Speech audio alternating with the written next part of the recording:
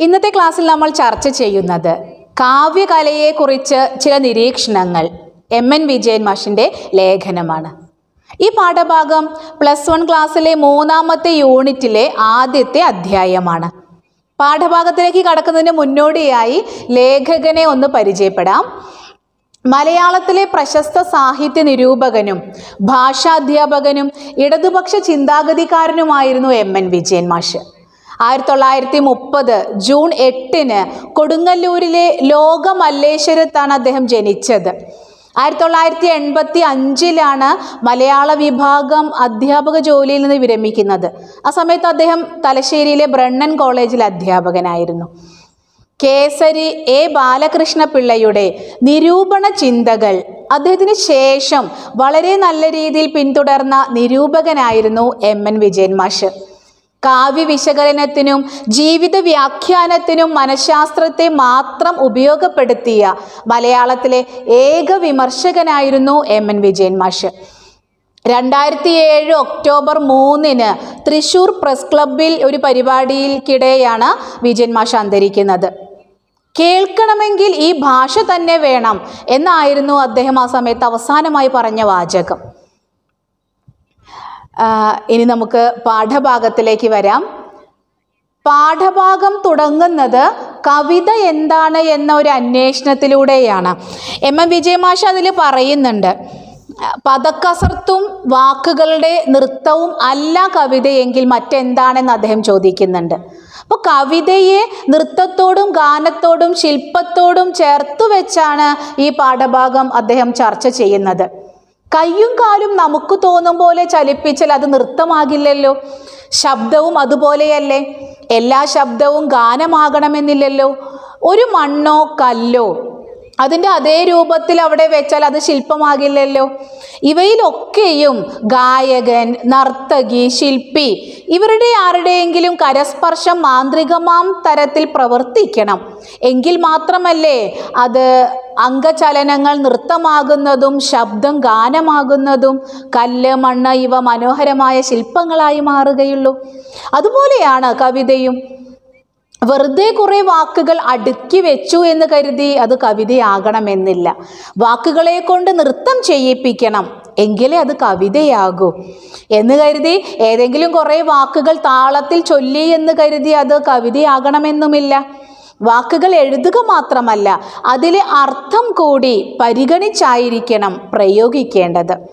ഒരു വരിയിലും വാക്കിലും ഒന്നിൽ കൂടുതൽ അർത്ഥം കൽപ്പിക്കാൻ കഴിയണം. അങ്ങനെ വരുമ്പോൾ അത് മികച്ച കവിതയായിട്ട് മാറും. അപ്പോൾ കവിത എന്നാൽ ശബ്ദത്തിന്റെയും അർത്ഥത്തിന്റെയും നൃത്തമായി മാറുകയാണ് അവിടെ. ഒരു ഉദാഹരണം നോക്കൂ. പൊൽത്തിടം പേറി ദേവൻ പെരുമാറുമപ്പെരും മസ്തക കടാഹത്തിൽ മന്ത്രിപ്പൂ പിശാചുക്കൾ. വൈലോപ്പിള്ളി ശ്രീധരമേനോന്റെ സഹ്യന്റെ മകൻ എന്ന കവിതയിലെ വരികളാണിത്. ഉത്സവത്തിന് തിടമ്പേറ്റി നിൽക്കുന്ന ആനയെ വർണിച്ചുകൊണ്ടാണ് ആ കാവ്യം ആരംഭിക്കുന്നത്. ആന കത്തിച്ചു വെച്ച വിളക്കുകളുടെ ദീപശോഭയിൽ തിളങ്ങി നിൽക്കുകയാണ്. വാദ്യമേളങ്ങളാൽ മുഖരിതമായ അവിടം. ജനങ്ങൾ ആ താളത്തിനനുസരിച്ച് തലയാട്ടി നിൽക്കുകയാണ്. മുന്നിൽ പൊന്നിൽ തീർത്ത ഭഗവാന്റെ തിടമ്പാണ് ആന ശിരസിലേറ്റിയിരിക്കുന്നത്. ആന ഉത്സവ ഭൂമിയിലാണ് നിൽക്കുന്നത്. എങ്കിലും അതിന്റെ മനസ്സ് ബാല്യകാലത്തിലേക്ക് അല്ലെങ്കിൽ പഴയ വിഹാര വനഭൂമിയിലേക്ക് യാത്രയാകുന്ന രംഗവും മനുഷ്യർ അവനോട് ദയയില്ലാതെ പെരുമാറുന്നതും ദൈവം പോലും കൈയൊഴിഞ്ഞ ആനയുടെ നിസ്സഹായതയും മനോഹരമായി അവതരിപ്പിച്ച കവിതയാണ് സഹ്യന്റെ മകൻ. അതിന്റെ ആ കവിതയിലുള്ള നാല് വരിയാണ് ഇവിടെ നിങ്ങൾക്ക് തന്നിരിക്കുന്നത്. അമ്പലത്തിൽ എഴുന്നള്ളിപ്പിന് തിടമ്പേറ്റിയ ആനയ്ക്ക് മതം പൊട്ടി എന്ന് പറയുകയാണ് ഇവിടെ. എന്നാൽ നേരിട്ടത് പറയാൻ ആർക്കും കഴിയും? പക്ഷെ ഈ വരികളിൽ ആശയം കവി നേരിട്ട് പറയാതെ നമ്മെ കൊണ്ട് പറയിപ്പിക്കുകയാണ് ചെയ്യുന്നത്. അതായത് ഈ വരികളിൽ ആനയ്ക്ക് മതമിളകി എന്നൊരു വാക്ക് ഇവിടെ എവിടെയും നമുക്ക് കാണാൻ കഴിയില്ലല്ലോ. പൊൽത്തിടം പേറ്റിയവനാണ് ആന. ദേവന്റെ ഇരിപ്പിടം അപ്പോൾ ആനയുടെ മസ്തകത്തിലാണ്.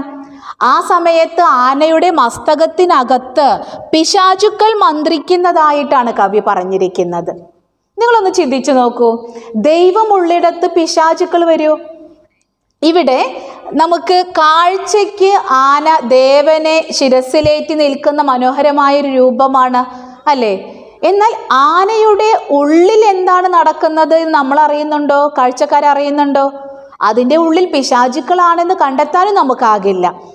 ഇവിടെ മനുഷ്യന്റെ സ്വഭാവവുമായിട്ടൊരു സാമ്യതയാണ് ഇവിടെ കാണുന്നത്. പുറമേക്ക് ശാന്തനും സുന്ദരനുമായ ഒരാളുടെ മനസ്സിൽ കാഴ്ചയിൽ നമുക്ക് കിട്ടാൻ കഴിയില്ല. ഉള്ളിലുള്ളത് എന്താണെന്ന്.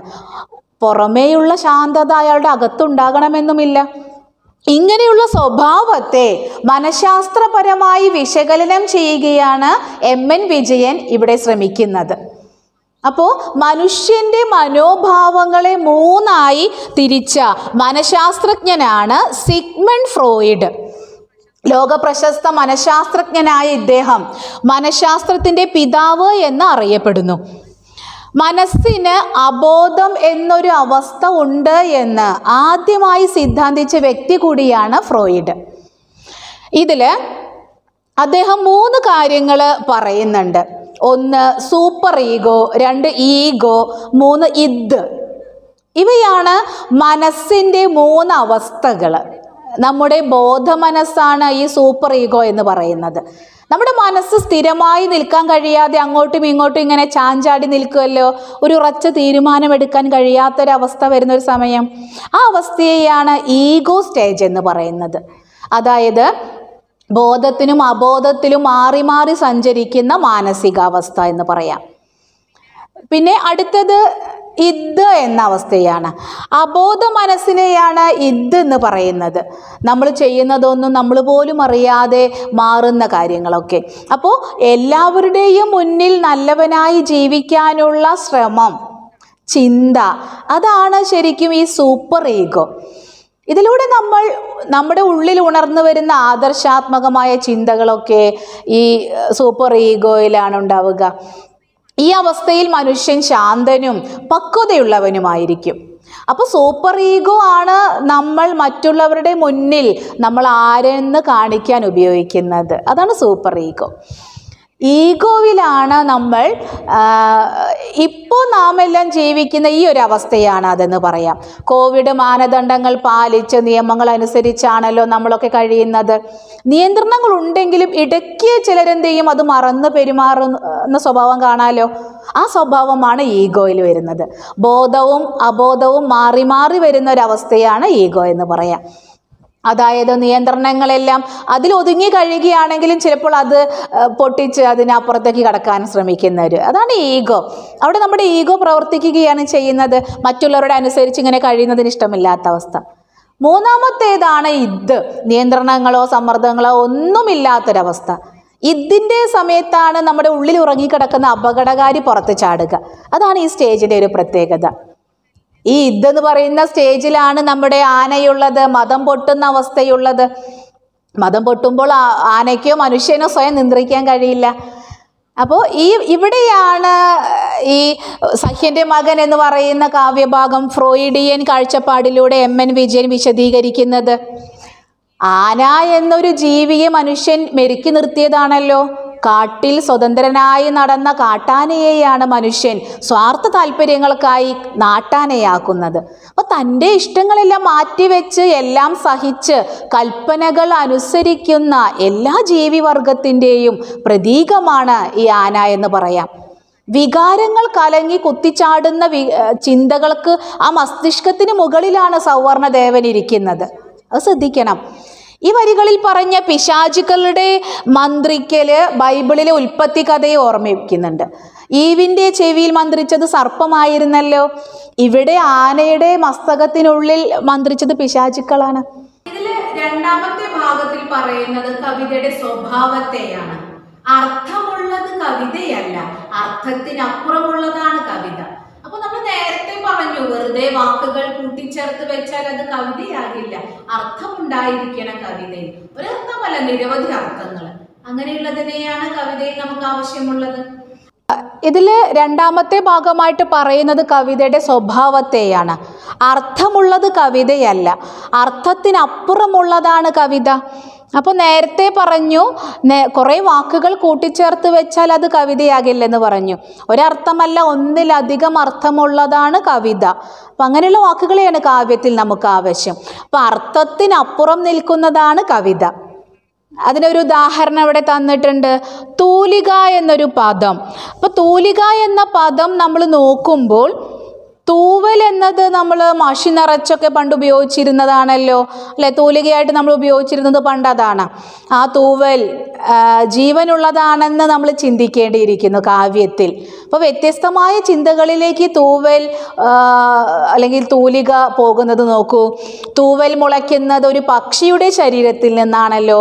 അല്ലെ? പണ്ടൊക്കെ തിരുവിതാംകൂറിലെ രാജാക്കന്മാര് ഒട്ടകപ്പക്ഷിയുടെ തൂവൽ കിരീടത്തിൽ ധരിച്ചിരുന്നു എന്നിവിടെ സൂചിപ്പിക്കുന്നുണ്ട്. അപ്പോൾ അങ്ങനെ ഉപയോഗിക്കുമ്പോൾ ആ തൂവൽ ഒരു ശരീരത്തിൽ നിന്ന് പറിച്ചെടുക്കുന്നതാണ്. പറിച്ചെടുക്കുമ്പോൾ ആ ശരീരത്തിന് വേദനിക്കും. ആ ജി ആ ഒരു തൂവലിലൂടെ ഉണ്ടാകുന്ന ഓരോ സൃഷ്ടിയും ജീവരക്തം തന്നെയാണെന്നാണ് വൈലോപ്പിള്ളി പറഞ്ഞിട്ടുള്ളത്. അപ്പോൾ തൂവലിന് ഒരർത്ഥമേ ഉള്ളൂ എങ്കിൽ കവിതയിൽ തൂവൽ അല്ലെങ്കിൽ തൂലിക വരുമ്പോൾ ഒരുപാട് അർത്ഥമായി അർത്ഥ തലങ്ങളിലേക്ക് അത് സഞ്ചരിക്കുന്നതായിട്ട് ഉൽപ്പാദിപ്പിക്കാൻ കഴിയും അർത്ഥങ്ങളെ. അപ്പോൾ അനേകം അർത്ഥങ്ങളെ നിഷ്പാദിപ്പിക്കുന്ന വാഗ്ബിന്ദുക്കളാണ് കവി തിരഞ്ഞെടുക്കുക. അതാണ് കവിതയിൽ ശ്രദ്ധിക്കേണ്ടത്. മറ്റൊരു ഉദാഹരണം അവിടെ തന്നിട്ടുണ്ട്.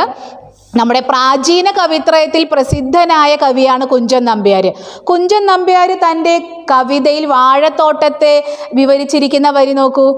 പച്ചക്കദളി കുലകൾക്കിടക്കിടെ എന്ന് തുടങ്ങുന്ന ആ വരികളിൽ മരതകം ഗോമേതകം വൈഡൂര്യം ഇതൊക്കെ ചേർന്ന് വരുന്നതായിട്ട് കാണാം. ഈ ഒരു ബോധം സാർവജനീനമായ ഒന്നല്ല എന്നാണ് എം എൻ വിജയൻ പറയുന്നത്. ചില ചരിത്രഘട്ടത്തിൽ തോന്നുന്നതാണത്രേ അത്. അപ്പോൾ ഇവിടെ എന്താണ് ആഡംബരമാണ് അല്ലേ? വാഴക്കുല. പച്ചക്കദളിക്കുലയാണ്. അപ്പോൾ കദളിയുടെ നിറം വ്യത്യസ്തമാണല്ലോ. ചുവപ്പ് പച്ച മഞ്ഞ ഇതൊക്കെ ചേർന്ന് നിൽക്കുന്ന കഥകളിക്കുലകൾ അതിന്റെ ഇടയ്ക്കിടയ്ക്ക് കാണുന്ന ഈ നിറഭേദങ്ങൾ. വ്യത്യാസങ്ങൾ ആ നിറത്തെ മരതകത്തോടും ഗോമേതകത്തോടും വൈഢൂര്യത്തോടും അല്ലേ വിലമതിക്കാനാകാത്ത അത്രയും വസ്തുക്കളാണല്ലോ വിലപിടിപ്പുള്ളതിനോട് സാമ്യപ്പെടുത്തിയിരിക്കുകയാണ്. ഒരു ഔഢ്യ ഒരു പ്രൗഢിയാണ് ആഡംബരമാണ് അവിടെ കാണുന്നത്.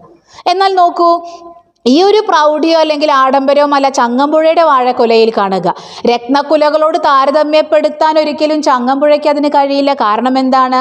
അത് മലയപ്പുലയന്റെ വാഴക്കുലയായിരുന്നു. മലയപ്പുലയൻ വെച്ച വാഴക്കുലയായിരുന്നു. അപ്പോൾ പ്രതീക്ഷയുടെ കൂമ്പായിട്ടാണ് അത് മാറുന്നത്.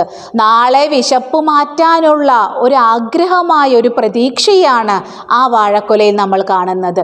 അത് മറ്റാർക്കോ വെട്ടിക്കൊണ്ടു പോകാനുള്ളതായിരുന്നു തന്റെ കുഞ്ഞുങ്ങൾ എന്നും ആർത്തിയോടുകൂടി ആയോ കഴിക്കാനായോ? ഇങ്ങനെ നോക്കി നിൽക്കുന്ന നാളെയാകാം നാളെയാകാം പഴുക്കട്ടെ പാകമാകട്ടെ എന്ന് പറഞ്ഞ് മാറ്റി നിർത്തുന്ന മലയപ്പോയന്റെ കൊലയാണ്. അത് പാകമായി പഴുത്തപ്പോഴോ വായിൽ വെള്ളം ഇറക്കാൻ മാത്രം ഭാഗ്യം ലഭിച്ച കുഞ്ഞുങ്ങളെ. ആ കുഞ്ഞുങ്ങളെ നോക്കിക്കൊണ്ടാണ് ആ കുല പോകുന്നത് ജന്മിക്കൊപ്പം. അപ്പം രണ്ട് കാലഘട്ടത്തിൽ എഴുതുന്ന കവിത ആയതുകൊണ്ട് തന്നെ അതിൽ വാഴക്കുല എന്നതിൽ ഒരുപാട് വ്യത്യാസം വരുന്നുണ്ട്. ഒന്ന് ആഢ്യതയുടെ പ്രതീകമാണെങ്കിൽ ഒന്ന് ഇല്ലായ്മയുടെ പ്രതീകമാണെന്ന് കാണാം. അപ്പോൾ ചൂഷണത്തിന്റെ പ്രതീകമാണ് ഇവിടെ ചങ്ങമ്പുഴയുടെ കഥകളിക്കുല എന്ന് നമുക്ക് പറയാം. അതേപോലെയാണ് ഇവിടെ മേഘം മേഘ സന്ദേശം എന്നത്. യക്ഷനെ രതിക്രീഡകൾ അനുസ്മരിപ്പിക്കുന്നതാണ് മേഘം എന്ന് പറയും. യക്ഷന്റെ പ്രശ്നം ശൈശവ ഭാവനകളെ കൊണ്ട് തിരസ്കൃതനായ ഒരു മുതിർന്ന മനുഷ്യന്റെ പ്രശ്നമായിട്ട് അവിടെ കാണാം. അദ്ദേഹം രാമഗിരിയിലേക്ക് വലിച്ചെറിയപ്പെട്ടു എന്ന് പറയുന്നുണ്ട് അവിടെ. ആദ്യത്തെ മഴക്കാറ് കാമത്തിന്റെ സാക്ഷാത്കാരമാണ് എന്നും ഉത്തരേന്ത്യയെ സംബന്ധിച്ചിടത്തോളം അതിന് വേറെയും പ്രത്യേകതകളുണ്ട്. അപ്പോൾ മഴക്കാർ എന്ന് പറഞ്ഞാൽ ഉത്തരേന്ത്യയും തമ്മിലുള്ള വ്യത്യാസം ഉണ്ടല്ലോ അല്ലേ? അപ്പോൾ നമ്മുടെ കേരളത്തിലെ മഴ പോലെ അത്രയും സുലഭമല്ലല്ലോ മറ്റുള്ള സ്ഥലങ്ങളിൽ അപ്പോൾ ഈ ഒരു കാഴ്ചപ്പാട് അവിടെ കൊണ്ടുവരാൻ ശ്രമിക്കുന്നു. അപ്പോൾ ഇവിടെ മഴക്കാറ് മേഘം എന്നതൊക്കെ ഓരോ ആളുകളുടെയും കാഴ്ചപ്പാടുകൾക്കനുസരിച്ച് ഭൂപ്രകൃതിക്കനുസരിച്ച് അതൊക്കെ എന്ത് ചെയ്യുന്നു? വ്യത്യാസം സംഭവിക്കും എന്നുള്ളതാണ്.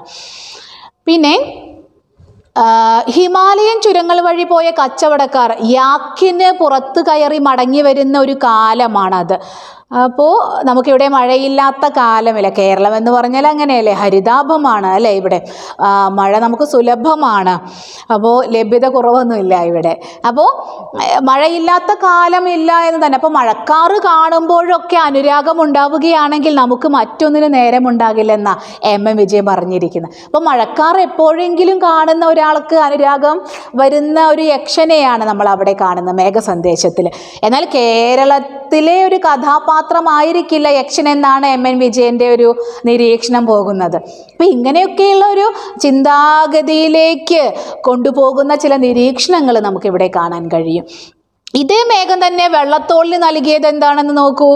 ആയിരത്തി തൊള്ളായിരത്തി ഇരുപതുകളിൽ ദേശീയ പ്രസ്ഥാനം കൊടുമ്പിരി കൊണ്ട കാലത്ത് അദ്ദേഹത്തിന് അത് നൂൽ നൂൽക്കാനുള്ള പരുത്തിയായാണ് തോന്നിയതെന്ന് പറയുന്നുണ്ട്. അപ്പോൾ വെള്ളമേഘങ്ങളെ അല്ലെ നൂൽ നൂൽക്കുന്ന പരുത്തി പഞ്ഞി അല്ലെ വെളുത്ത നിറം. അപ്പോൾ വള്ളത്തോളിനത് നൂൽ നൂൽക്കാനുള്ള ഭംഗിയായിരുന്നു ആ മേഘം. സ്വാതന്ത്ര്യബോധം ചിന്താഗതി അല്ലേ? അതൊക്കെ അവിടെ കൊണ്ടുവരാൻ ശ്രമിക്കുന്നുണ്ട്. അപ്പോൾ ഒരു പ്രസ്ഥാനത്തിന്റെ കാഴ്ച നമുക്ക് അവിടെ കാണാം. അപ്പോൾ ചരിത്രം പലപ്പോഴും നമ്മുടെ കാഴ്ചയൊക്കെ എന്ത് ചെയ്യുന്നുണ്ട്? നന്നായിട്ട് സ്വാധീനം ചെലുത്താറുണ്ട്. ഓ ഒരേ ലോകത്തെ തൊഴിലാളിക്കും മുതലാളിക്കും വ്യത്യസ്ത രീതിയിൽ നോക്കി കാണാനാണ് സാധിക്കുക. എല്ലാവർക്കും ഒരുപോലെ അത് കാണാൻ കഴിയില്ലല്ലോ. ലോകം സമാധാനത്തിന്റെ പീഠഭൂമിയിലാണ് എന്നൊരു സന്യാസിക്ക് തോന്നും. സന്യാസി നോക്കുമ്പോൾ എന്നാൽ ഹിരോഷിമയിലുള്ളവർക്ക് അങ്ങനെ തോന്നണമെന്നില്ല. ഒരു കലാകാരൻ തിരഞ്ഞെടുക്കുന്ന സിമ്പൽ ചിലപ്പോൾ ഒരേപോലെ ആകണമെന്നുമില്ല അപ്പം ഹിരോഷിമയിലുള്ളവർക്ക് സമാധാനമാണ് ലോകമെന്നൊരിക്കലും ചിന്തിക്കാൻ കഴിയില്ല. അവിടെയാണ് കലാകാരന്റെ ഒരു വീക്ഷണകോണ് വരേണ്ട ആവശ്യകത. എങ്ങനെയാണ് ഏത് രീതിയിലാണ് ആ ഒരു പ്രദേശത്തെ വിഷയത്തെ കൈകാര്യം ചെയ്യുന്നത് ഉൾക്കൊള്ളുന്നത്? അതിനനുസരിച്ച് അതിൽ അവതരണത്തിൽ വ്യത്യാസമുണ്ടായിരിക്കും. ഇങ്ങനെ ജിയയുടെ അന്വേഷണം എന്ന കവിതയിലെ കാറ്റിനെ കുറിച്ച് പറയുന്നു. മാമ്പഴത്തിലെ ഒടുവിൽ പിടികൊടുക്കാതെ അമ്മയെ ആശ്ലേഷിക്കുന്ന തൈർക്കുളിർ കാറ്റിനെയും എം എൻ വിജയൻ മാഷ് ഇവിടെ കൊണ്ടുവന്നിട്ടുണ്ട്. അപ്പോൾ ഇതൊക്കെ അതിന് ഉദാഹരണമായിട്ട് എടുക്കാം നമുക്ക്. ജിയുടെ അന്വേഷണത്തിലെ കാറ്റും വൈലോപ്പിള്ളിയുടെ മാമ്പഴത്തിലെ കാറ്റും അവിടെ വ്യത്യസ്തമായ ആവിഷ്കാരമാണ് കാഴ്ചവെക്കുന്നതെന്ന് പറയാം. ഒരേപോലെയല്ലല്ലോ. അപ്പം നാം തന്നെ ഉണ്ടാക്കുന്നതും ഉണ്ട് തീർക്കുന്നതുമായ ഈ ലോകത്തിൽ ഒരു സദ്യ കൂടിയുണ്ട് എന്ന് പറയുന്നവർ പിന്നീട് കവികളായി തീരുന്നു എന്നാണ് എം എൻ വിജയൻ പറയുന്നത്. നമ്മുടെ അനുഭവങ്ങളിൽ ചിലത് കൂടി അവർ എന്ത് ചെയ്യുന്നുണ്ട്? അതിൽ കൂട്ടിച്ചേർക്കുന്നുണ്ട്. അപ്പോൾ കാളിദാസൻ ചിലതും ഷേക്സ്പിയർ പലതും ഇങ്ങനെ ചേർത്ത് വെച്ചു. ഇവരിൽ ഒരു നന്മയെങ്കിലും കാണുന്നവനെ നല്ല കവിയെന്നും ഒരുപാട് കണ്ടെത്തുന്നവനെ മഹാകവിയെന്നും എ. റിച്ചാർഡ്സ് വിളിക്കുന്നുണ്ടായി. ആയിരം നിറമുള്ള പൂക്കൾ എണ്ണമറ്റ രസഭേദങ്ങൾ ആസ്വാദനത്തിന്റെ അനവധി തലങ്ങൾ ലോകത്തെ വളർന്നുകൊണ്ടിരിക്കുന്ന ഒരു ഓർക്കസ്ട്രയായി മാറ്റുന്നവർ ജീവിതം അവസാനിക്കുന്നില്ല എന്ന് പറയുന്നവർ മനുഷ്യന്റെ അനുഭവങ്ങൾക്ക് അതിരുകളില്ല എന്ന് വീണ്ടും വീണ്ടും വിളിച്ചറിയിക്കുന്നവർ കവികൾ തന്നിഷ്ടം പോലെ ലോകങ്ങൾ ഉണ്ടാക്കുന്നു എന്ന് പറയുന്നത് ഈ കാരണം കൊണ്ടാകാം. അവരെ നമുക്ക് ഇനിയും ആവശ്യമുണ്ട്. ഇങ്ങനെയാണ് നിങ്ങൾക്ക് പഠിക്കാനുള്ള ആ ഒരു ലേഖന ഭാഗം അവസാനിക്കുന്നത്. അപ്പോൾ ഇവിടെയൊക്കെയും എന്ത് തന്നെയാണ് നമ്മൾ മനസ്സിലാക്കേണ്ടത്? അർത്ഥമുള്ളത് കവിതയല്ല അർത്ഥത്തിനപ്പുറമുള്ളതാണ് കവിത എന്ന് തീർച്ചയായിട്ടും നമ്മൾ ഉൾക്കൊണ്ട് അംഗീകരിക്കേണ്ടതാണ്. അപ്പോൾ വിശദീകരിക്കേണ്ട ഉദാഹരണങ്ങളൊക്കെ അതിൽ അദ്ദേഹം തന്നു എന്നേ ഉള്ളൂ ഇനി നിങ്ങൾ ഇതിൽ പറഞ്ഞ കവിതകളും ഒക്കെ നിങ്ങളുടേതായ രീതിയിലൊന്ന് വായിച്ച് അർത്ഥം കണ്ടെത്താനും അത് വിശകലനം ചെയ്യാനും ശ്രമിക്കുക. അപ്പോൾ ഇദ്ദേഹത്തിന്റെ ഒരു ഈ ഒരു രീതി നിങ്ങൾക്ക് ഉൾക്കൊള്ളാൻ കഴിയും. ഇതിൽ ഒന്നാമത്തെ ചോദ്യം നോക്കൂ. ചലനത്തെ നൃത്തത്തിലെന്ന പോലെ നാദത്തെ ഗാനത്തിലെന്ന പോലെ കല്ലിനെ ശില്പത്തിലെന്ന പോലെ അത്ഭുതാത്മകമായി സുഭഗമായി അർത്ഥഗർഭമായി വാക്കുകളെ കൊണ്ട് നൃത്തം ചെയ്യിക്കലാണ് കവിത. ഈ അഭിപ്രായത്തെ പി. കുഞ്ഞിരാമൻ നായരുടെ കാവ്യഭാഗം അടിസ്ഥാനമാക്കി പരിശോധിക്കുക എന്നതാണ് ഒന്നാമത്തെ ചോദ്യമായിട്ട് തന്നിരിക്കുന്നത്. ഇവിടെ നമ്മൾ യൂണിറ്റിന്റെ തുടക്കത്തിൽ പ്രവേശകത്തിൽ നമ്മൾ പി കുഞ്ഞിരാമൻ നായരുടെ കവിത ചർച്ച ചെയ്തല്ലോ. ഇവിടെ പി കുഞ്ഞിരാമൻ നായരുടെ കാര്യം സൂചിപ്പിച്ചുകൊണ്ട് തന്നെയാണ് ഈ ചോദ്യത്തിന്റെ ഉത്തരവും നമ്മൾ എഴുതേണ്ടത്. അവിടെ മലയാളത്തിലെ വിഷുപക്ഷി എന്നറിയപ്പെടുന്ന എഴുത്തുകാരനാണ് പി കുഞ്ഞിരാമൻ നായർ പ്രകൃതിയുടെ കവി. ആയിരത്തി തൊള്ളായിരത്തി അഞ്ചിലാണ് അദ്ദേഹത്തിന്റെ ജനനം. ആയിരത്തി തൊള്ളായിരത്തി എഴുപത്തെട്ടിലാണ് പി കുഞ്ഞിരാമൻ നായർ അന്തരിച്ചത്. കവിതയെ അത്ഭുതാവഹമായ പ്രവാഹമായിട്ടാണ് പിയുടെ ഓരോ കവിതകളിലും നമുക്ക് കാണാൻ സാധിക്കുന്നത്. വിരഹവേദനയും ഗൃഹാതുരതയും കാൽപ്പനിക കവികളുടെ പൊതു സ്വത്തായിട്ട് പൊതുവെ പറയാറുണ്ട്. അങ്ങനെ അതിന്റെ ഒരു തെളിഞ്ഞ ഉദാഹരണം തന്നെയാണ് പി കുഞ്ഞിരാമൻ നായരുടെ കവിതകൾ എന്ന് പറയാം. അപ്പോൾ കവിയുടെ കൃതികളിൽ അടിമുടി വ്യാപിച്ചിരിക്കുന്ന ഒരു ആശയം എന്ന് പറയുന്നത് പ്രകൃതിയോടുള്ള സ്നേഹമാണെന്ന് കാണാം. അതിന്റെ സൗന്ദര്യത്തോടുള്ള അതിയായ സന്തോഷം കൊണ്ട് പ്രകൃതിയെ പുലർക്കാല സ്ത്രീയായി ആരോപിക്കാൻ കവി കഴിവുള്ളൊരു കവി കൂടിയായിരുന്നു പി. ഗ്രാമത്തെക്കുറിച്ച് പറയുന്നത് വായിച്ചാൽ സ്വന്തം വീട്ടുമുറ്റത്ത് കൈരളി വന്ന് നിൽക്കുന്നതായിട്ട് വായനക്കാർക്ക് അനുഭവപ്പെടും. അങ്ങനെയൊക്കെയാണ് അദ്ദേഹത്തിന്റെ ഓരോ എഴുത്തും. നിങ്ങൾ പത്താം ക്ലാസ്സിൽ പഠിച്ചിട്ടുണ്ടല്ലോ സൗന്ദര്യപൂജ എന്ന ഒരു കാവ്യഭാഗം. ചിങ്ങപ്പുലരിയുടെ പാട്ടിൽ കുളിച്ചു നിൽക്കുന്ന പ്രകൃതിയെ മലനാടിനെ വിളിച്ചുണർത്തുന്നതായിട്ട് അതിൽ പറയുന്നുണ്ട്. സന്ധ്യകൾ കടന്നു പോകുന്നതിനെ പറയുന്നുണ്ട്. പഞ്ചവർണ കിളിക്കൂട്ടങ്ങൾ പോലെ എന്ന് പറയുന്നത്. സന്ധ്യ കടന്നു പോകുമ്പോൾ അവരുടെ കയ്യിലൊരു കുമ്പിളുണ്ട് ഓണപ്പൂക്കളം. ഇല ഇല കൊണ്ടുണ്ടാക്കിയ പൂത്തട്ടുണ്ടാവുമല്ലോ പൂവട്ടി. അപ്പോൾ അതിൽ ആ കുമ്പിളി ഓണപ്പൂക്കൾ നിറച്ചുകൊണ്ടാണ് സന്ധ്യ കടന്നു പോകുന്നത് എന്ന് പറയുന്ന ഭാഗമൊക്കെ. പഞ്ചവർണ കിളി കൂട്ടങ്ങളെ പോലെ കടന്നു പോകുന്ന പല നിറത്തിലുള്ളതല്ലേ പഞ്ചവർണ കിളി അപ്പോൾ കുമ്പിളി നിറയെ ഓണപ്പൂക്കളുമായിട്ട് പോകുന്ന സന്ധ്യ എത്ര മനോഹരമായിട്ടാണ് അതിൽ ചിത്രീകരിച്ചിരിക്കുന്നത് അല്ലേ? ഇപ്പോൾ കാവ്യവരിയിൽ ഇത്രയും പ്രയോഗങ്ങൾ കൊണ്ടുവരിക എന്നുള്ളത് പി കുഞ്ഞിരാമൻ നായരുടെ ഒരു പ്രത്യേകത തന്നെയാണ്. അനേകായിരം വാചകങ്ങൾ കൊണ്ട് ആശയഭംഗി ആവിഷ്കരിക്കുന്ന കവിയാണല്ലോ പി കുഞ്ഞിരാമൻ നായർ. അവിടെ കവി ഓണം കഴിഞ്ഞതിനെ കേവഞ്ചി കയറിപ്പോകുന്ന വെണ്ണിലാവണി രാവുകളായും ചിത്രീകരിക്കുന്നുണ്ട് ആ കവിതയിൽ. കണ്ണീരണിഞ്ഞ ഗ്രാമലക്ഷ്മി ദുഃഖിക്കുന്ന കാഴ്ചയും അതിൽ പറയുന്നുണ്ട്. അപ്പം ഇതൊക്കെ വായിക്കുമ്പോൾ നാം അറിയാതെ അതിലേക്ക് അങ്ങ് അലിഞ്ഞു പോകും. കവിയെ സംബന്ധിച്ച് എല്ലാം പ്രകൃതിയാണ്. ചെളിയെ കുറിയാക്കി ചിത്രീകരിക്കുന്നുണ്ടല്ലോ കവി അതിൽ അപ്പോൾ ഇങ്ങനെയുള്ള ചില ആവിഷ്കാരങ്ങൾ ഇതാണ് സൗന്ദര്യ പൂജയിലുള്ള ആശയം എന്ന് പറയാം. അങ്ങനെയൊക്കെ പറയുന്ന കവി കളിയച്ചൻ എന്ന് പറയുന്ന ഒരു കവിതയിൽ കവിയുടെ മറ്റൊരു മുഖമല്ലേ കാണാൻ സാധിക്കുന്നത്? തന്നോട് തന്നെ തോറ്റുപോകുന്നവന്റെ ഒരു നിരാശയാണ് കളിയച്ചൻ എന്ന കവിതയിൽ. അമ്മയോട് കാണിക്കുന്ന സഹജമായ അടുപ്പത്തെ അത്ഭുതത്തോടെ മാത്രമേ നോക്കി കാണാൻ സാധിക്കൂ അതിൽ. അകത്തു നിന്ന് ശാസിക്കുന്ന ഭരിക്കുന്ന വിഷമം സഹിക്കുന്ന നമ്മെ തല്ലുകയും തലോടുകയും ചെയ്യുന്ന ഐശ്വര്യശക്തിയായാണ് കവി അമ്മയെ അതിൽ കാണുന്നത്.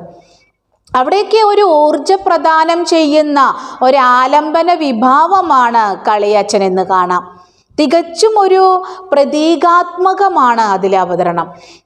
ഇവിടെ അതിലെ കഥാപാത്രം ഗുരുവിനെ ധിക്കരിച്ച ശേഷം പടിപടിയായി അതപ്പതിക്കുന്നതിന്റെ ഒരു ദുരന്ത ശോകവും ഒടുവിൽ പശ്ചാത്താപ തീയിൽ ദഹിച്ചതിന് ശേഷം വിജയത്തിന്റെ നവലോകത്തിലേക്ക് പുതിയ ചിറകുകളോടെ ഉയരുന്നതിന്റെ പ്രത്യാശ പ്രകാശവുമാണ് കളിയച്ചൻ എന്ന കവിതയിലെ വിഷയം.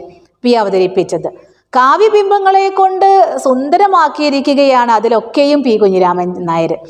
ഒരിക്കലും വേറൊരു കവിക്കും സാധിക്കാത്തൊരിടത്തിലേക്ക് കവി തന്റെ കവിതയെ കൊണ്ടുപോകുന്നത് അദ്ദേഹത്തിന്റെ ഓരോ കൃതിയിലും നമുക്ക് കാണാൻ കഴിയും. അവിടെ തോടിനെ അദ്ദേഹം പൂണൂലിട്ട പാടമായും പെറ്റമ്മയെ വിട്ടകലാത്ത പുൽക്കൊടികളായും ആ, തങ്കക്കടുക്കനെ നമ്മൾ കാതിലണിയുന്ന കുടുക്കനുണ്ടല്ലോ തങ് സ്വർണത്തിന്റെ കടുക്കനെ മുക്കുറ്റിപ്പൂവായും ഓണവില്ലിനെ ഞാണുകെട്ടിയ ഇളം മുളകളായും കിങ്ങിണി ചാർത്തിയ കുഞ്ഞി കവുങ്ങിനെയൊക്കെയും കവി മനോഹരമായ ഭാവനാത്മകമായ ആവിഷ്കാരം വാക്കുകളെ കൊണ്ട് നൃത്തം ചെയ്യിക്കാൻ പറ്റുന്ന രീതിയിലാണ് അവതരിപ്പിച്ചിരിക്കുന്നത്. വാക്കുകളെ കൊണ്ട് നൃത്തം ചെയ്യിപ്പിക്കാൻ കഴിയുന്ന കവി തന്നെയായിരുന്നു പി കുഞ്ഞിരാമൻ നായർ എന്ന് പറയാം. ഇത് കവികൾക്ക് മാത്രമല്ലേ കഴിയൂ. അപ്പോൾ കവിത സ്വബോധ മണ്ഡലത്തിന്റെയും അപ്പുറത്തുള്ള ഒന്നാണ് എന്ന് നമുക്ക് അദ്ദേഹത്തിന്റെ കവിതകൾ വായിക്കുമ്പോൾ നമുക്ക് കിട്ടും. ഇവിടെ പാഠപുസ്തകത്തിലെ വരികളിലും നിങ്ങൾക്കത് കാണാൻ കഴിയും. ഇപ്പോൾ നമ്മൾ നേരത്തെ ക്ലാസ്സിൽ ചർച്ച ചെയ്തു പ്രവേശകത്തിൽ. ഇരുട്ടിലെ മനുഷ്യൻ എന്ന വരികൾ ചർച്ച ചെയ്തല്ലോ പ്രവേശക കുറിപ്പിൽ അപ്പോൾ അവിടെ ഋതുക്കൾ താമരക്കുളങ്ങളുടെ വക്കിലൂടെ പ്രേമവേദന പാകി മറഞ്ഞു പോകുന്നത് പറയുന്നുണ്ടല്ലോ. പാട്ടിന്റെ വഞ്ചി തുഴഞ്ഞു പോകുന്ന പറവക്കൂട്ടങ്ങളെ അതിൽ നിങ്ങൾ പരിചയപ്പെട്ടല്ലോ. അതേപോലെ കവിതാ സമാധിയിൽ അലിഞ്ഞു പോയ ഉറച്ചു പോയ മലകളെയും കവി പറഞ്ഞല്ലോ. അപ്പോൾ ഇങ്ങനെയുള്ള പ്രകൃതി ബിംബങ്ങളെ എല്ലാറ്റിലും ആവിഷ്കരിച്ച കവി തന്നെയാണ് പി കുഞ്ഞിരാമൻ നായരെന്ന് കാണാം. ഇങ്ങനെ അർത്ഥഗർഭമായി വാക്കുകളെ നൃത്തം ചെയ്യിക്കലാണ് കവിത എന്ന് എം എൻ വിജയൻ മാഷി പറഞ്ഞ ഈ പ്രസ്താവന. പി കുഞ്ഞിരാമൻ നായരുടെ കാവ്യഭാഗം വിശ നോക്കുകയാണെങ്കിൽ അതിനനുരൂപമായി വാക്കുകളുടെ നൃത്തം ചവിട്ടലുകളാണെന്ന് നമുക്ക് കാണാൻ കഴിയും. അപ്പോൾ പിയുടെ കവിതകളിലെ ഈ ഉദാഹരണങ്ങളൊക്കെ എടുത്തുകൊണ്ട് നിങ്ങൾക്ക് ഈ ഉത്തരത്തെ വിശദീകരിക്കാവുന്നതാണ്. ഇങ്ങനെയുള്ള വാക്മയ ചിത്രങ്ങളുടെ ഒരു സംഘനൃത്തം തന്നെയാണ് വാക്കുകളുടെ കാവ്യങ്ങളിലെ വാക് പ്രയോഗങ്ങൾ എന്ന് നമുക്ക് പറയാം. അപ്പോൾ പ്രകൃതി സൗന്ദര്യം എങ്ങനെയാണ് കവിതയിലേക്ക് എത്തുന്നത് എന്ന് നമ്മൾ ഓരോ കാവ്യഭാഗം വായിക്കുമ്പോൾ നമുക്ക് വ്യക്തമാക്കാൻ കഴിയണം. ഇവിടെ പറയുകയാണെങ്കിൽ ഭാവനയുടെ തങ്കച്ചൂളയിൽ മുങ്ങിക്കുളിച്ച് ഉന്മത്തമായിട്ട് പിയുടെ നാക്കിൻ തുമ്പത്തുകൂടി എന്തു പുറത്തു വരൂ എന്ന് പൊതുവെ പറയാറുണ്ട്. തൊട്ടതിനെയൊക്കെ തനി തങ്കമാക്കുന്ന ഒരു കഴിവുള്ള ആൽക്കമിസ്റ്റാണ് പി കുഞ്ഞിരാമൻ നായരെന്നും പറയാറുണ്ട്. അപ്പോൾ ഇങ്ങനെയൊക്കെയുള്ള ആശയങ്ങളെല്ലാം ചേർത്ത് അദ്ദേഹത്തിന്റെ നിരീക്ഷണങ്ങൾ കവിതാ വരികളൊക്കെ ചേർത്ത് വെച്ചിട്ടുള്ള ഒരു അവതരണമാണ് ഈ ചോദ്യത്തിൽ നിങ്ങൾ ചെയ്യേണ്ടത്. ഇനി അടുത്ത രണ്ടാമത്തെ ചോദ്യത്തിലേക്ക് പോകാം. രണ്ടാമത്തെ ചോദ്യം നോക്കൂ. മതം പൊട്ടിയ ആന എന്ന കേവല ആശയത്തെ ഒരു കവി ആവിഷ്കരിച്ചിരിക്കുന്നത് കണ്ടല്ലോ. കുളത്തിലെ വെള്ളം തെളിഞ്ഞു എന്ന ഒരു ആശയം മറ്റൊരു കവി വർണിച്ചിരിക്കുന്നത് നോക്കൂ. അവിടെ മതം പൊട്ടി ആന എന്നത് പറഞ്ഞത് ഏതായിരുന്നു? നമ്മൾ നേരത്തെ ഈ പാഠഭാഗം ചർച്ച ചെയ്തപ്പോൾ പറഞ്ഞ സഹ്യന്റെ മകൻ അല്ലേ? വൈലോപ്പിള്ളിയുടെ സഹ്യന്റെ മകൻ എന്ന കാവ്യത്തിലെ ആ വരികൾ നമ്മൾ ചർച്ച ചെയ്തല്ലോ. അതാണ് ഇവിടെ മതം പൊട്ടിയ ആന എന്നത് അവിടെ സൂചന. മറ്റൊരു കവി എഴുതിയിരിക്കുന്നു വിണ്ടല നീല നിറങ്ങളെല്ലാം കുണ്ടുകുളത്തിൽ വിരുന്നു വന്നു എന്ന്. അപ്പൊ ചോദ്യം ഇതാണ് നിങ്ങൾക്ക് പരിചിതമായ കാവ്യഭാഗങ്ങളിൽ നിന്ന് ഇത്തരം ഉദാഹരണങ്ങൾ കണ്ടെത്തി കവിതയുടെ ഭാവഭംഗി എന്ന വിഷയത്തെക്കുറിച്ച് കുറിപ്പ് തയ്യാറാക്കാനാണ് ചോദ്യം. അപ്പോൾ നിങ്ങൾക്കറിയാവുന്ന ചില കവിതകളിൽ നിന്നുള്ള ഈരടികളോ നാല് വരികളോ ഒക്കെ എടുത്ത് വിശദീകരിക്കുകയാണ് ഇവിടെ ചെയ്യേണ്ടത്. ചില വരികൾ ഞാൻ ഒന്ന് പരിചയപ്പെടുത്തി തരാം. ഇവിടെ പറയാൻ പറ്റുന്ന ചില വരികൾ നിന്നിൽ കുരുക്കുന്ന കറുകയുടെ നിറുകയിലെ മഞ്ഞുനീർ തുള്ളിയിൽ പോലും ഒരു കുഞ്ഞു സൂര്യനുണ്ട് അതുകൊണ്ടുദിച്ചിതൻ കരളിനൊരു വിസ്മയ വിഭാതം. ഗീതം ഭൂമിക്കൊരു ചരമഗീതം എന്ന ഭാഗത്തിലെ വരികളാണ്.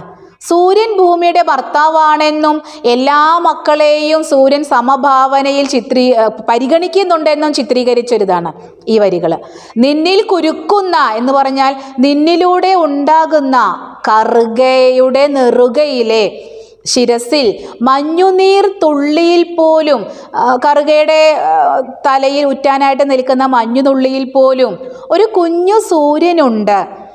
അത് കണ്ടുദിച്ചത് എൻ കരളിനൊരു വിസ്മയ വിഭാതം എന്നാണ്. അപ്പോൾ സൂര്യപ്രകാശത്തിന്റെ ശക്തിയിലാണ് പ്രകൃതിയിൽ ജീവജാലങ്ങൾ നിലനിൽക്കുന്നത് എന്ന ഒരു സസ്യശാസ്ത്രത്തെ കവിതയുടെ ഭാവതല സാധ്യതകൾ ഉപയോഗിച്ച് പ്രയോഗിക്കുമ്പോൾ ഉണ്ടാകുന്ന ആസ്വാദ്യത വളരെ ഉയർന്നതാണ്.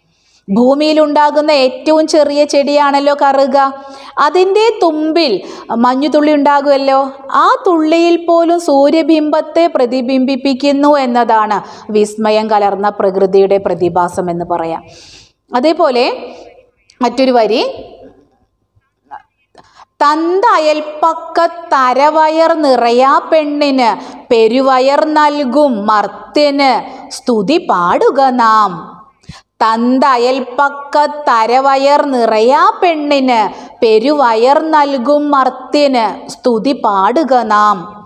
അയ്യപ്പ പണിക്കരുടെ കുടുംബപുരാണം എന്ന കവിതയിലെ വരികളാണിത്. ഈ ഈ കവിതയിൽ ഉണ്ടാക്കുന്ന അർത്ഥതലം വളരെ വിശാലമാണെന്ന് കാണാം. നാം ചിന്തിക്കാത്ത വഴിയിലൂടെ നമ്മുടെ ചിന്തയെ കൊണ്ടുപോകാൻ കഴിവുള്ള ഒരു കവിയാണ് അയ്യപ്പ പണിക്കർ. അദ്ദേഹത്തിന്റെ വരി തന്ത അയൽപ്പക്കത്തരവയർ നിറയാ പെണ്ണിന്. ഇന്ന് നമ്മുടെ അയൽപ്പക്കത്തുള്ളവരെ ശ്രദ്ധിക്കാനോ സംസാരിക്കാനോ പോലും സമയമില്ല. രോഗഭയം മൂലം നമ്മളതിന് തയ്യാറാകാത്ത കാലമാണ്. അയൽപ്പക്കത്ത് നടക്കുന്ന കാര്യം ചിലപ്പോൾ നമ്മൾ ദൃശ്യമാധ്യമങ്ങളിലൂടെ കണ്ടറിയുന്ന ഒരവസ്ഥയിലാണ് നമ്മളിന്ന് ജീവിക്കുന്നത്.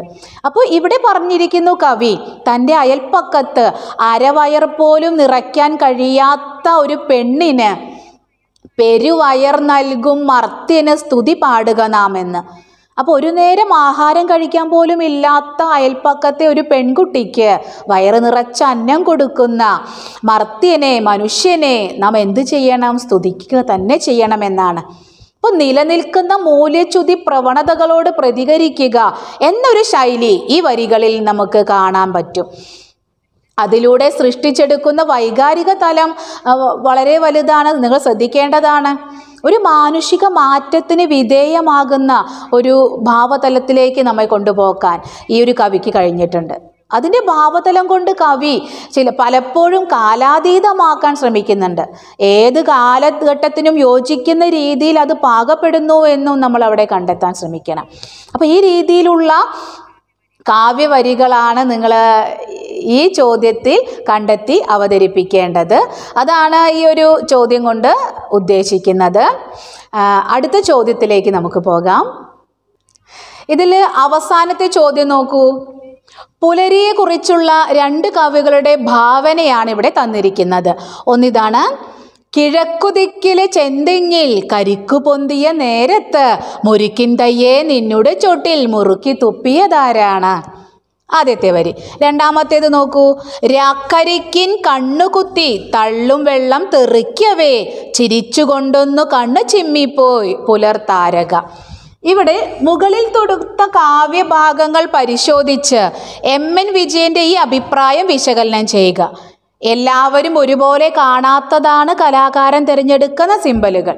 ഈ ഒരു അഭിപ്രായത്തെ ഈ വരികൾ വെച്ച് വിശകലനം ചെയ്യാനാണ് ചോദ്യം. ഇതിൽ ഈ രണ്ട് കാവ്യഭാഗങ്ങൾ പരിശോധിക്കുമ്പോൾ തന്നെ നമുക്കത് വ്യക്തമാകുന്നുണ്ട്. നോക്കൂ.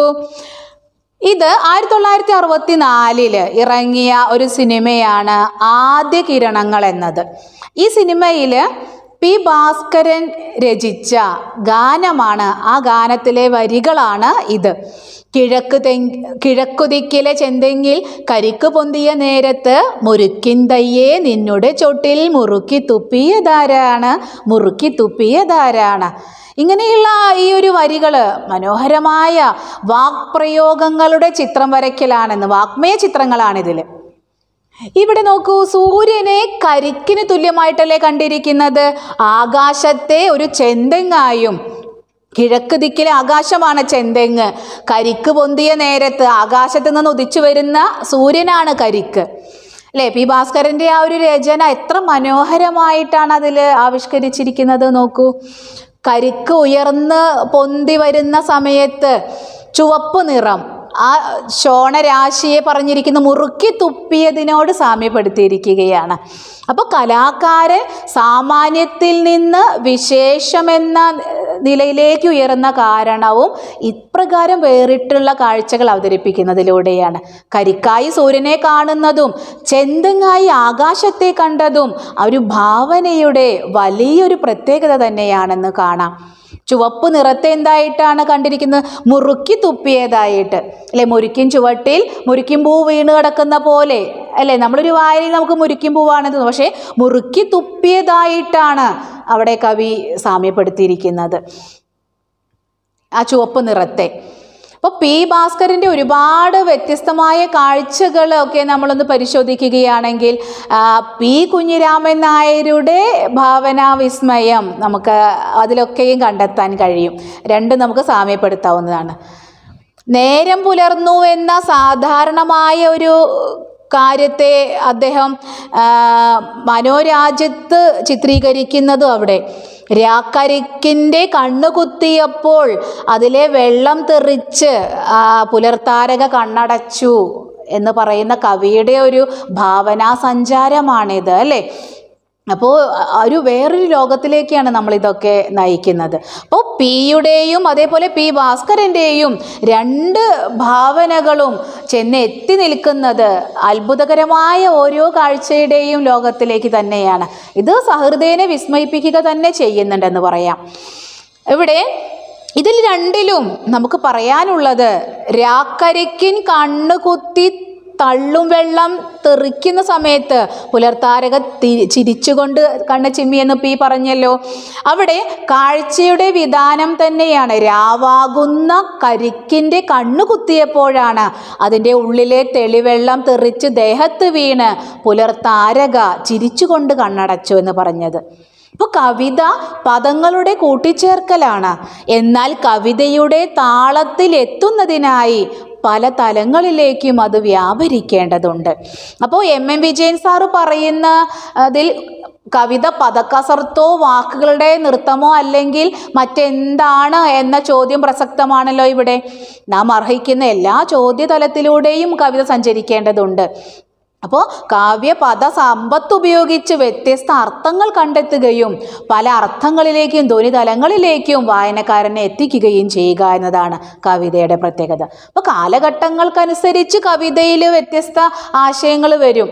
അപ്പോൾ അനുയോജ്യമായ ഇടം തേടി കണ്ടെത്തുകയും ചെയ്യുന്ന കവിതകളും ഇവിടെ ഉണ്ടെന്ന് കാണാം. പറയാനുള്ളത് വെറുതെ പറയലല്ല കവിത. ആസ്വാദ്യകരവും അത്ഭുതകരവുമായ രീതിയിൽ ആവിഷ്കരിക്കലാണ് കവിത. അവിടെയാണ് പുലരിയെക്കുറിച്ചുള്ള രണ്ട് ഭാവനകളിലും നമ്മൾ കാണുന്നത്. രണ്ട് തലങ്ങൾ ആശയാവിഷ്കാര സാധ്യത ഇതിലുണ്ടെന്ന് പറയാം. പുലരിയിൽ ഉദിച്ചു വരുന്ന സമയത്ത് കാണുന്ന ചുവപ്പ് രാശിയെ പ്രകടിപ്പിക്കാനാണ് ഇവിടെ ആദ്യത്തെ ഭാഗത്ത്. പിന്നീട് കുലച്ചു വരുന്ന ചെന്തെങ്കിൽ നിന്ന് കരിക്ക് പോലെ. അപ്പോൾ മുറുക്കി തുപ്പിയ ഒരു ആവിഷ്കാരം. പ്രഭാതത്തിന്റെ സൗമ്യതയാണ് അവിടെ ദീപ്തതയാണ് അവിടെ നമ്മൾ കാണുന്നത്. ഇളം ചുവപ്പ് നിറത്തിൽ പ്രകൃതിയുടെ ദൃശ്യം തെളിഞ്ഞു വരുന്നത് ഈ വരിയിലൂടെ നമുക്ക് കാണാൻ സാധിക്കും. പ്രകൃതിയുടെ പ്രഭാതത്തിന് പല മുഖങ്ങളുണ്ടല്ലോ. ഓരോ ദിവസവും ഒന്നിനൊന്ന് വ്യത്യസ്തമാണ്. ഈ വ്യത്യസ്തമായ ഇടത്തിലൂടെ നമ്മുടെ മനസ്സിനെ സഞ്ചരിപ്പിക്കുക കൂടിയാണ് ഇവിടെ കവി ചെയ്തിരിക്കുന്നത്. രണ്ടാമത്തേതിൽ കടന്നു പോകുന്നത് ഇതിൽ നിന്നും വ്യത്യസ്തമായ തലത്തിലൂടെയാണല്ലോ ചിന്തയെ വർത്തമാനകാലത്തിലേക്ക് അല്ലെങ്കിൽ ഭൂതകാലത്തിന്റെ ഓർമ്മകളിൽ നിന്ന് മാറിയ ശേഷം സാവധാനം ഭാവിയിലേക്ക് നടത്തിക്കൊണ്ടുപോകുന്ന ഒരു കാഴ്ച രണ്ടാമത്തേതിൽ കാണാം. അതുകൊണ്ട് തന്നെ പ്രഭാതകാലത്തെ പറയുന്നതിന് പകരം കഴിഞ്ഞ രാത്രിയുടെ കണ്ണ് കുത്തി തുറന്ന് കടന്നു വരുന്ന പ്രകാശമായാണ് പ്രഭാതത്തെ കാണുന്നത്. അതാകട്ടെ രാത്രിയുടെ വെറും കണ്ണല്ല മറിച്ച് രാത്രിയുടെ കരിക്ക് രാക്കരിക്കിൻ കണ്ണു കുത്തുമ്പോൾ തെർ പുറത്തേക്ക് തെറിച്ചു വരുന്ന വെള്ളം. അത് ദേഹത്ത് തട്ടുമ്പോൾ ചിരിച്ചുകൊണ്ട് കണ്ണ് ചിമ്മുന്ന പുലർത്താരക എന്നാണ് അതിൽ പറഞ്ഞിരിക്കുന്നത്. ഈ കവിതയ്ക്ക് കുറച്ചുകൂടി ഓജസ്സും ജീവനും ഉള്ളതായിട്ട് വായിക്കുമ്പോൾ നമുക്കുണ്ടാകും. ആദ്യത്തെ കവിത വാക്കുകളെ കൊണ്ട് ചിത്രം വരച്ച് നമുക്ക് മുന്നിൽ നിവർത്തി വെച്ചിരിക്കുന്ന ഒരു വർണപ്രപഞ്ചമാണ്. എന്നാൽ രണ്ടാമത്തെ കവിതയാകട്ടെ ഭൂതകാലത്തിൽ നിന്ന് വർത്തമാന കാലത്തിലേക്ക് ചിന്തയുടെ ഒരു യാത്ര നമ്മുടെ ഉള്ളിൽ ഉണ്ടാക്കിയെടുക്കുക തന്നെയാണ് ചെയ്തിരിക്കുന്നത്. ഇങ്ങനെ കവിതകൾ വ്യത്യസ്തമായ രീതിയിൽ വായനക്കാരന്റെ മനസ്സിലേക്ക് ഒരു സർഗാത്മക തലത്തിലേക്ക് ഒരു അത്ഭുത പ്രതിഭാസമാക്കി മാറ്റാനുള്ള കഴിവാണ് ഈ കവികളിലുള്ളതെന്ന് പറയാം. അപ്പോൾ പി ഭാസ്കരന്റെയും പി കുഞ്ഞിരാമൻ നായരുടെയും കവിതകളുടെ ഒക്കെ പ്രത്യേകത ഇതാണ്. ഒരേപോലെ കാണാത്തതാണ് കലാകാരൻ തിരഞ്ഞെടുക്കേണ്ട സിമ്പലുകൾ. എന്ന എം എം വിജയന്റെ കാഴ്ചപ്പാടുമായിട്ട് ചർച്ച ചെയ്യുമ്പോൾ നമ്മൾ വിശദീകരിക്കേണ്ടത്. ഇത്രയാണ് ഇതിൽ നിന്ന് നമുക്ക് പറയാൻ പറ്റുന്ന കാര്യങ്ങൾ. അപ്പോൾ ഇനിയുള്ളത് നിങ്ങൾ എന്ത് ചെയ്യുക നിങ്ങളുടേതായ രീതിയിൽ അതൊന്ന് കണ്ടെത്തി ആവിഷ്കരിക്കുകയാണ് ചെയ്യേണ്ടത്. അപ്പോൾ ഇത്രയും പറഞ്ഞുകൊണ്ട് നമുക്ക് ഇന്നത്തെ ക്ലാസ് ഇവിടെ നിർത്താം.